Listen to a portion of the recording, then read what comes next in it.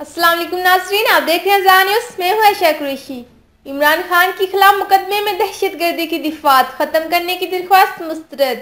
इंसदा दहशत गर्दी की अदालत ने P T A chairman Imran Khan के खिलाफ पी टी वी हमला समेत देगर केसेस से।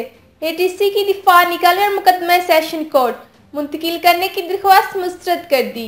तफसीलात के मुताबिक, इमरान खान से मुतल केस की समात इंसदा दहशत गर्दी के जज शाहरुख अंजुमन ने की।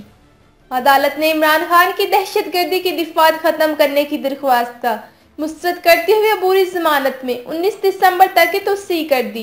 अदालत ने इमरान खान को आइंदा समात पर पेश होने का हुक्म भी दिया।